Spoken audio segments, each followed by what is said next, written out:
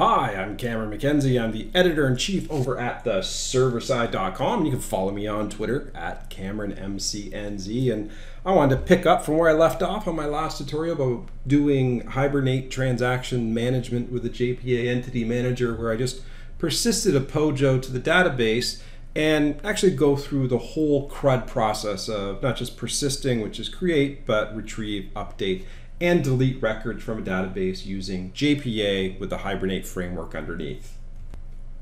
Now in the previous example, I created this player class, annotated it with the entity annotation, had a primary key called ID of type long, and put the requisite ID and generated value tags in there, and put the requisite setters and getters in, and then added a main method. And you can see in the main method here I do all the stuff that's required in order to get the entity manager, create a transaction, persist an object, and then finally commit a transaction. Notice the password is ABC123 there, and um, that record actually got saved to the database in the last example.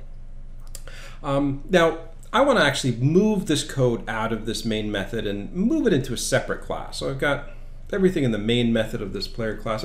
I don't like that. I want to kind of keep that clean. I think I'll leave that main method in there for posterity's sake. But I have created a new file called jpa crudexample.java in the same package as the other player class and any other classes I've created to date. And I put four methods in, create, retrieve, update, and delete record. You can see that maps to CRUD, C, R, U, and D. And I've made calls to those static methods inside of the, the main method here so that I can go forward and, and test them out. And so what I'm going to do is I'm going to first start off just by pasting the code that we had in that previous example. I'm going to get rid of the, the try and catch here because I don't think I really need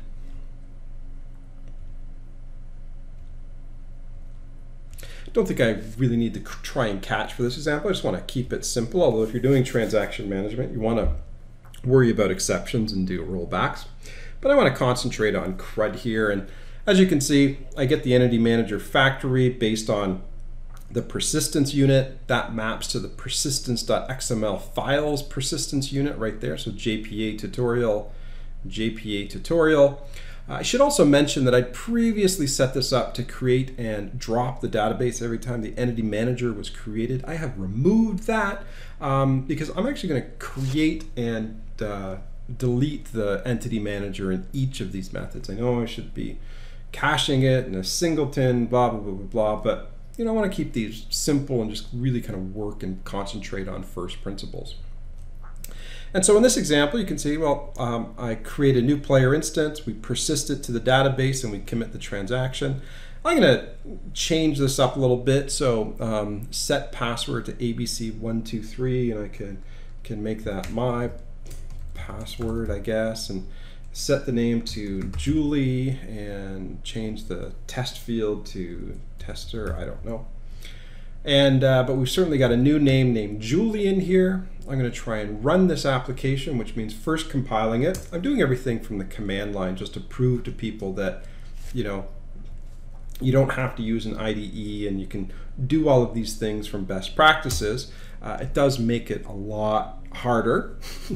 um, so use an IDE, but uh, you know shows you can just use Hibernate with a JDK. And as you can see, uh, I compile the code using this. I've got all of my Hibernate libraries right there in this hiblib folder. Um, I reference the, I got JDK on the uh, Java home configured and the JDK on the, the Windows path so I can call the Java utility and then I can just run the code. And when I run the code, if I go back to the database, do a little search on that player table, you notice that Julie was added in there. So you know, we've got the create working, but you know, we knew we had the create working. Uh, we knew that from the, the previous example. So I want to concentrate on these other methods, retrieve, update, and delete. Now, a lot of the code is going to be the same. As I said, I'm going to set up and tear down the entity manager each time in each of these methods. You can cache it in a persistence manager class or something like that, or better yet, inject the entity manager in using Spring and context and dependency injections, but that's going to keep things really, really simple right now. Now, if I actually look at the database, I'll, you'll notice that the ID of Julie is 2.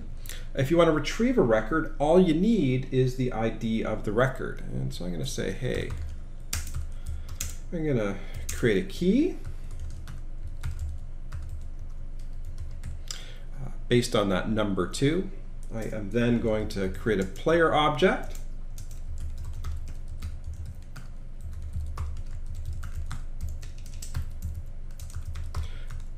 by finding that player in the database based on key. Hopefully a player object will come back and everything will be held in that player object named P.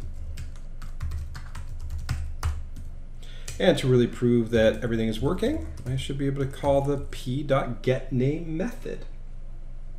The field was name, right? I start to lose track of these things, but there you go. I'm going to compile this. Hopefully everything compiles, and it does.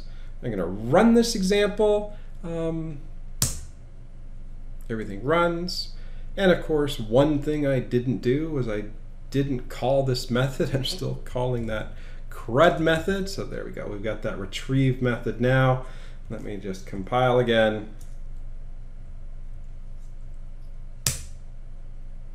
And there we go. We've done the search and it's come back and it said, hey, that name based on the ID of 2 is Julie. Okay, well, that's retrieve. What about update? How could we update a record? Well, you know, an update is really similar to retrieve because in order to update a record, you have to first retrieve it from the database. So we'll retrieve Julie. I think I ran the create method twice. So if I actually do another search on this database, you'll see I've got two Julies. So maybe we'll update that third Julie and make her a Karen. I don't know if she'll like that, but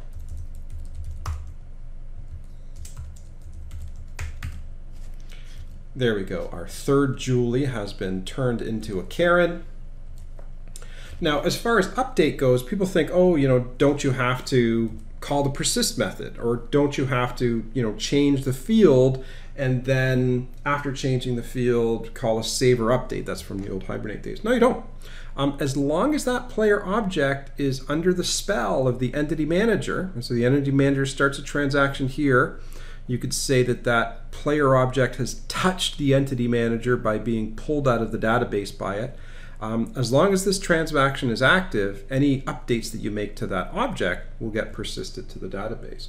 And if you don't believe me, I'll prove it to you by first compiling this code and then by running it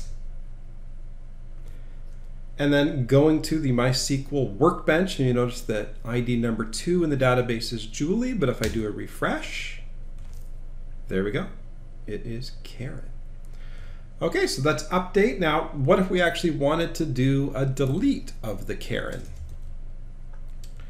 Well, again, we would need to pull the entity from the database. So, you know, we're going to need all of this entity stuff.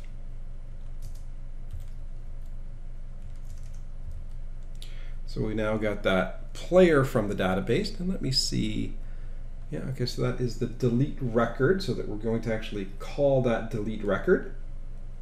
And now, once that happens, all we have to do is ask the entity manager to remove it. And it's not just going to remove it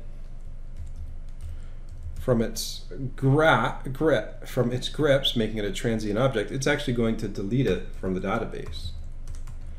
So there we go. Um, remove that record.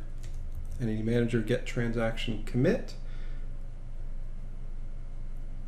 That all looks good to me. So again, it's the same thing that we did in the update and even in the, the retrieve method. We get the object, we hold it as a player, then we ask the entity manager to remove it. And that's what's new and exciting here.